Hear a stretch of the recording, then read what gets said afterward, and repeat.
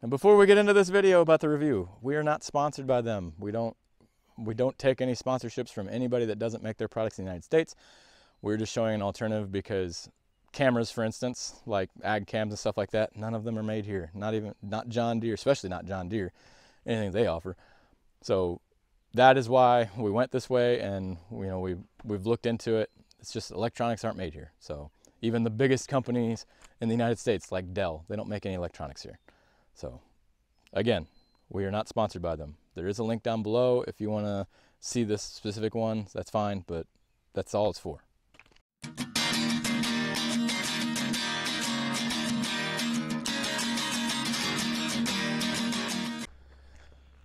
Morning, everyone.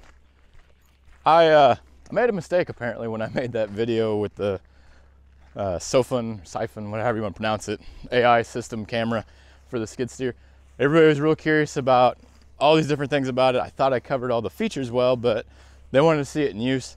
I just didn't think anybody would be that excited about it or that curious about it, so I'm gonna make a quick review video of it in action and actually using it. So this driveway behind me and a roundabout all the way up to our shop, and even over here, I was using the skid steer to spread all that out, and I love it because when these clowns right here that are following me get behind me, it gives me an alert. The only thing I don't really like about it is that if you back up to a fence, for instance, so like this fence behind me, you know, it's got some wood pan or some wood uh, two by fours on it, and obviously the fencing. It doesn't always set the AI beeper off and say like, hey, you know, something's there. So for people or dogs or animals, works great. But for you know stationary objects and inanimate objects, not so well. But I'll show you how it works and show you how you like it. The sound is gonna be awful on the, because uh, it everything that it hears back there, so you can probably hear the skid steer idling right now, it plays it all through the mic. So ideal for this situation? Absolutely not. But if you had it on the back of a trailer, for instance, and you're backing up and you got somebody back there talking to you, it would work great for that. All right, so we're gonna go up here, we're gonna scoop some manure out of this trailer. I don't have a good way to do it, so we got this manure for free from some friends, and it's hard to pass up something like that. I might have to turn the throttle.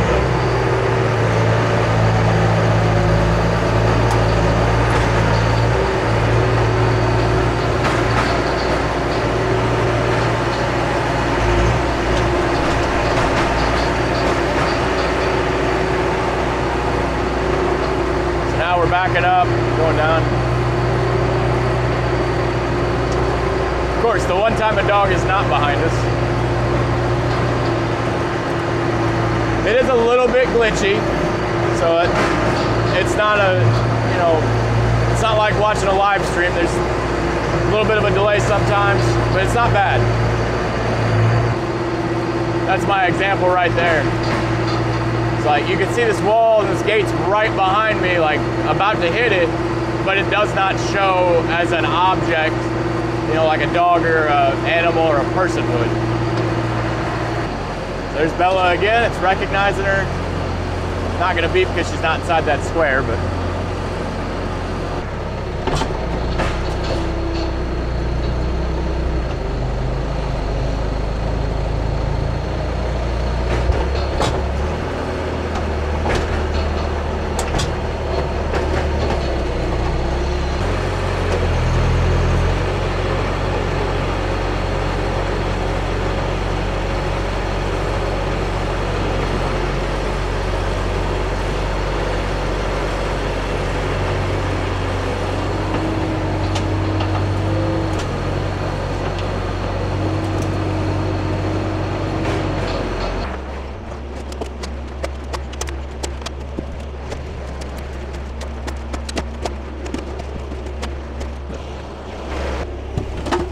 And now we'll do obliques to the other side. So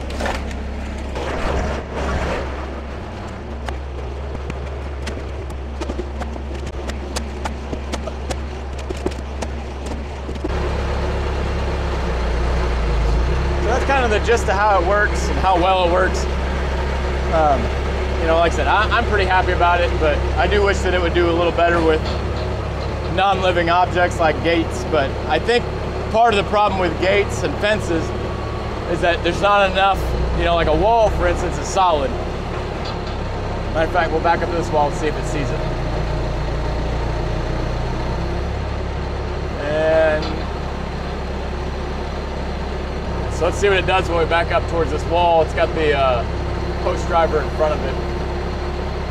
And it's not gonna recognize it.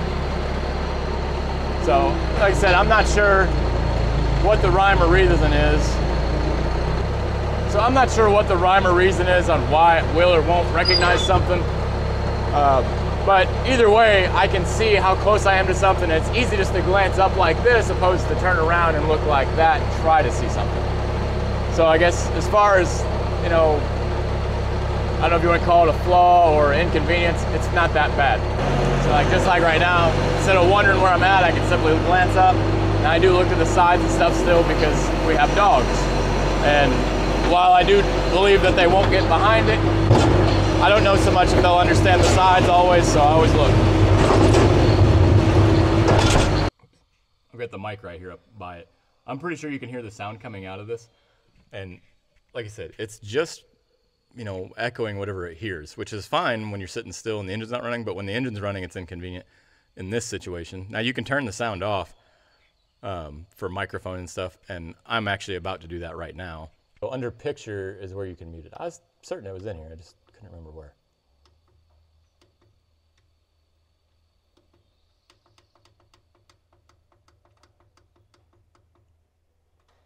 Now I'm gonna go back there and test it and see if I still get my alarm beep.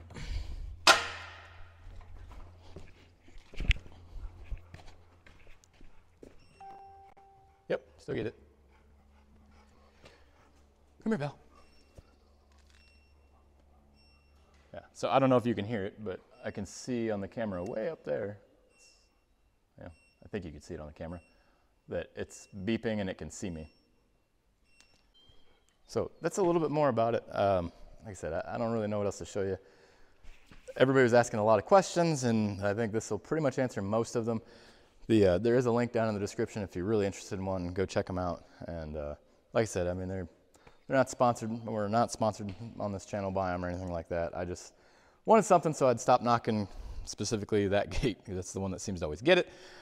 Knocking it off like you saw in the first video about this thing. And that so far has helped. We haven't ran into anything yet, but give us time. I'm sure we'll figure out a way to do it. And uh, all of our manure is in here. So this manure, I know it seems weird, but we actually got this for free from a friend that they don't have a lot of acreage and so they feed their animals hay all the time and they needed to get rid of some of it and asked us, um, you know, if we'd be interested in it. I said, oh, absolutely. And so we kept dropping our trailer off. They'd fill it up with their tractor, and then we'd bring it here, unload it, and take it back. This is, I think, four loads, three loads, three or four loads. It's a, it's a good chunk. It's not going to cover our whole hayfield, but we'll we'll cover the areas that we know are problem areas and uh, go from there. So, hope you enjoyed the video, and uh, yeah, it's best I could do for you. So, hopefully that answers most of the questions.